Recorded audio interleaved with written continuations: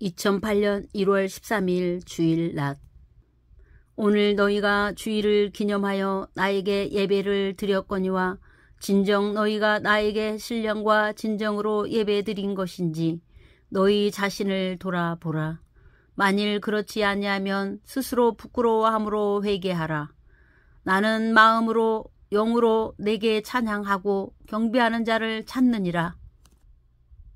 나의 사랑하는 자들아 너희는 내 앞에 나와 경배 드릴 때 빈손으로 오지 않도록 언제나 예비하라. 각자의 힘 닿는 대로 할 것이요 자원하여 할 것이라. 나는 억지로 하는 예물을 기뻐하지 아니하느니라. 예배 시간에 늦지 말라.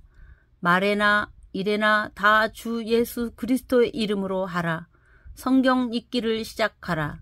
내가 지혜와 계시의 정신을 더욱 부어 눈을 더욱 열어 주리라.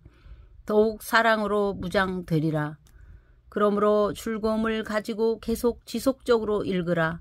큰 무기가 되리라. 아무것도 염려하지 말고 오직 모든 일에 기도와 간구로 너희 구할 것을 감사함으로 아뢰라.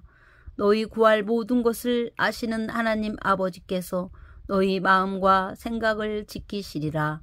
뿐만 아니라 너의 쓸 것을 채워 주시리라. 너는 나라와 민족을 위하여 기도하라. 너희 염려하는 것이 무엇이냐?